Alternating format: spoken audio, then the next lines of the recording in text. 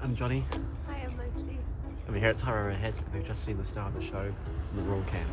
So we've made our way out here um, this morning from Wellington. We've met all the amazing rangers and talked everything there is to know about albatross. Um, we've come up here and we've seen them swim and feed and it's just been, yeah, absolutely amazing.